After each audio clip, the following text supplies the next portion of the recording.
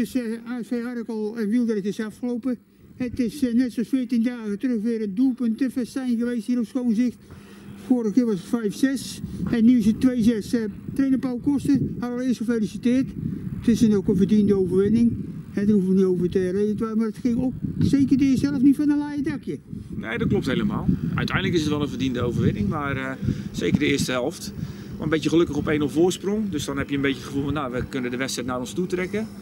Ja, en binnen een tijdsbestek denk ik van één minuut krijgen we twee doelpunten tegen. Staan we opeens 2 en achter.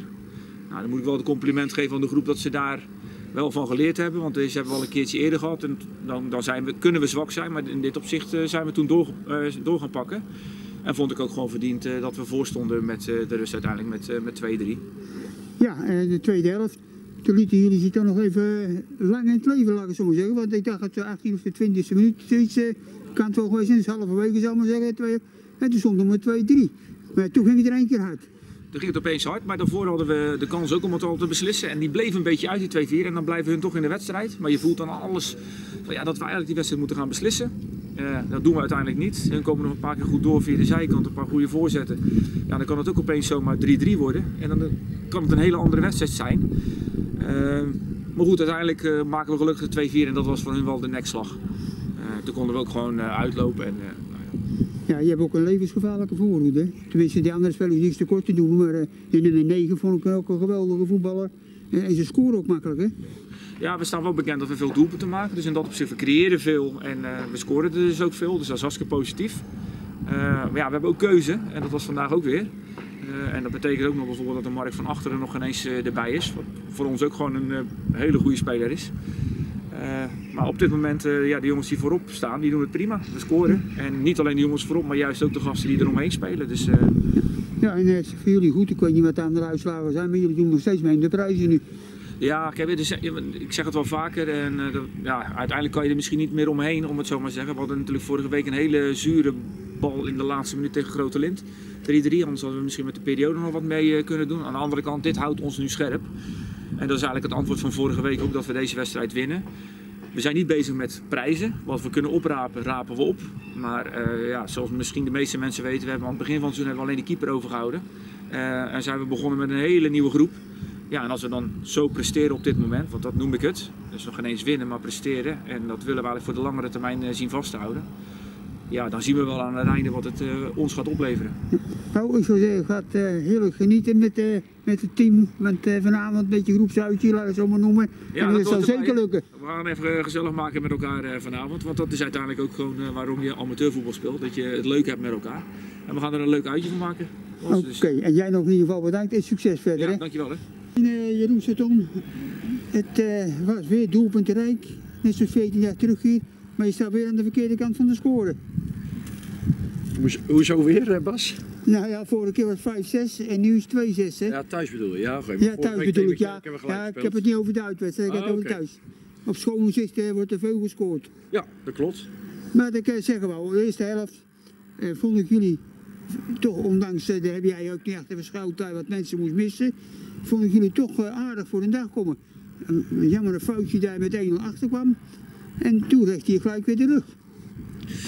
Ja, dat klopt. Ik moet zeggen, eerste helft eh, starten we erg, eh, erg goed. Eh, soms nog wat moeite om de vrije man te vinden op het midden. Want daar lagen wel mogelijkheden. Hè. Je zag dat zij met vijf, eh, vijf achterop speelden. En zij zetten met drie man druk. Nou, we hadden wat moeite om de vrije man te vinden. Als we dat toch konden vinden, ja, dan, dan werden we wel meteen gevaarlijk. Het is inderdaad zonde dat je door een individuele fout dat je achterkomt. Kom je weer goed terug. Ja, dus eh, twee hele mooie goals. Alleen ja, door een klein misverstand aan de, aan de, aan de zijkant met een ingooi ehm, krijg je de gelijkmaker. En ja, vanuit een ingooi wat, wat ik achteraf hoorde dat die voor ons was, eh, die kreeg Wieldrecht. Ja, scoren ze uit een klutssituatie, scoren zij 3-2 of 2-3 eigenlijk. Ja, dat klopt. Toen de tweede helft vond ik jullie toch weer goed uit de kleedkamer komen. Want je hebt een lange tijd weer in de wedstrijd gebleven. En je kreeg ook kansen. Wieldrecht ook, maar jullie ook. Hè, het kan zomaar ook weer 3-3 worden. Maar ja, dat ging niet door even. Eh, nee, maar goed, eh, kijk, je moet wat risico nemen hè, omdat je achter staat. Eh, op zich zijn we nog redelijk lang in de wedstrijd ge- gebleven. Alleen ja, je weet, kijk, ze hebben best wel wat handige jongens voorin. ja, dan, dan loop je risico. Hè? Dus op het moment dat je balverlies leidt, en dat gebeurt nog wel eens bij ons, ja, dan weet je dat je een counter om je oren zou kunnen krijgen. Hè? Dus we kregen wel enkele kansen. Wel wat mogelijkheden ook, via Jordi, via, via Robin. Alleen ja, dan weet je op een gegeven moment bij de, bij de 2-4, hè, toen was het wel een beetje klaar. Dus dan wordt het nog een beetje een geflatteerde uitslag. Ehm, maar goed, ja, die eh, staat wel. Ja, klopt. Het werd een geflatteerde uitslag, want eh 2-6 is wel een beetje te fors uitgevallen. En wat ik wel zeg, je, ja, jullie eh, geven iets te makkelijk de doelpunten weg. Hè? Dat lijkt ook wel hoe jullie er al tegen hebben. Hè?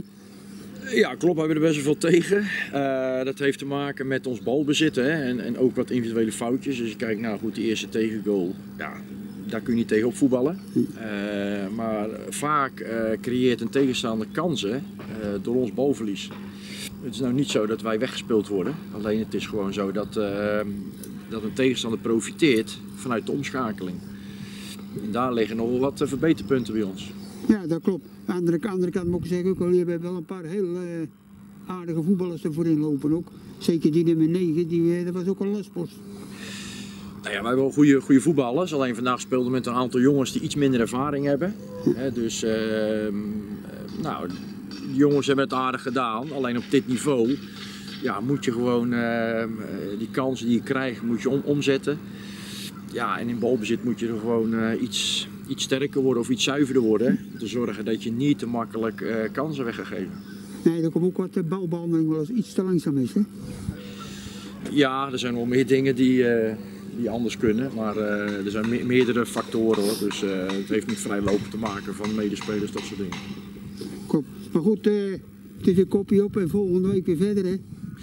Eh, ja, iedere week eh, spelen we voetbal, dus dat is een voordeel, dat klopt. Eh, krijgen, we spelen weer thuis tegen Alblasserdam. Oké. Nou Jeroen, ik wens je in ieder geval veel succes de komende weken. En dan komt het best weer goed. Goed zo, dankjewel Bas. Oké hè. Kijk eens.